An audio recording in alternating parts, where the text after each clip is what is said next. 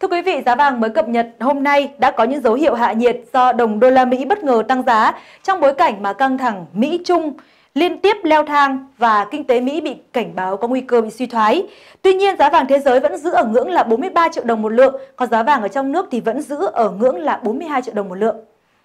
Cụ thể, tính tới ngày hôm nay thì giá vàng thế giới giao ngay trên sàn Kiko giao dịch ở mức là 1.538,7 đô la Mỹ một ounce, giảm nhẹ 3,8 đô la Mỹ một ounce so với cùng giờ phiên giao dịch ngày hôm qua. Quy đổi theo tiền Việt thì vàng thế giới đang được bán ra với giá là 43,21 triệu đồng một lượng, tức là cao hơn khoảng từ 200 cho tới 400 ngàn đồng một lượng so với giá các doanh nghiệp kinh doanh vàng trong nước đưa ra.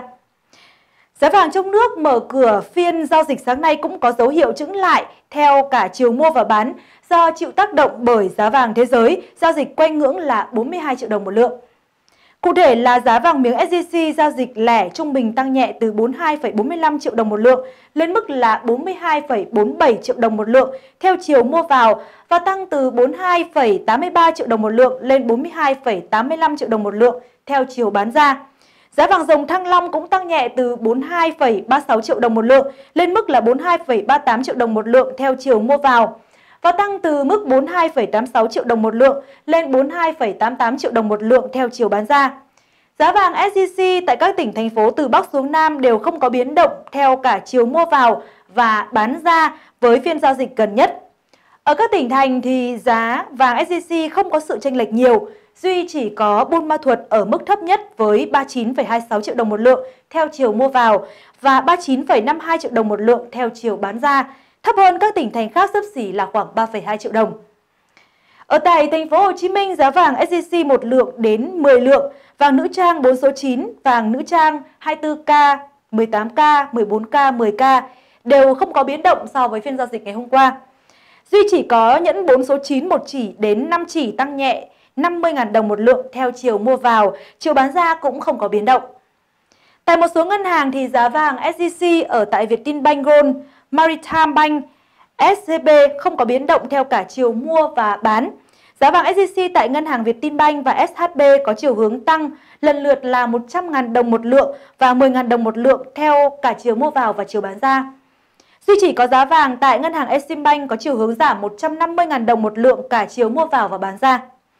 Tại các tổ chức lớn thì giá vàng SJC tại Doji Hà Nội, Doji Sài Gòn, Phú Quý SJC đều có chung mức giá là 42,4 triệu đồng một lượng theo chiều mua vào và 42,85 triệu đồng một lượng theo chiều bán ra.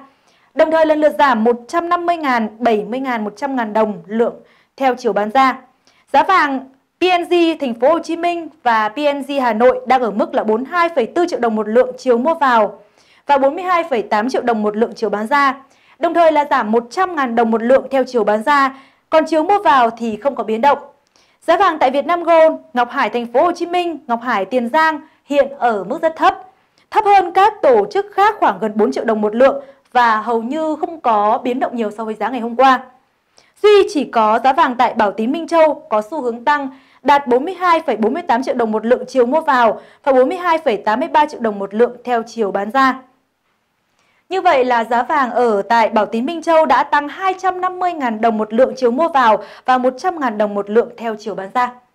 Thưa quý vị, những dữ liệu về giá vàng trên đã cho thấy đây là kết quả của sự suy giảm kinh tế toàn cầu do tác động của cuộc chiến thuế quan và những nỗ lực nhằm chấm dứt sự mất cân bằng thương mại giữa hai nền kinh tế lớn nhất nhì thế giới, đó chính là Mỹ và Trung Quốc.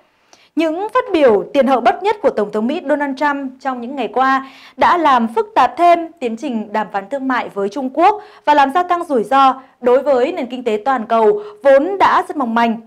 Để cập nhật giá vàng hàng ngày, xin mời quý vị hãy cùng theo dõi ở trên kênh Invest TV để có những thông tin nhanh và chính xác. Cảm ơn quý vị đã đồng hành cùng với Invest TV. Xin kính chào tạm biệt và hẹn gặp lại vào tin vào ngày mai.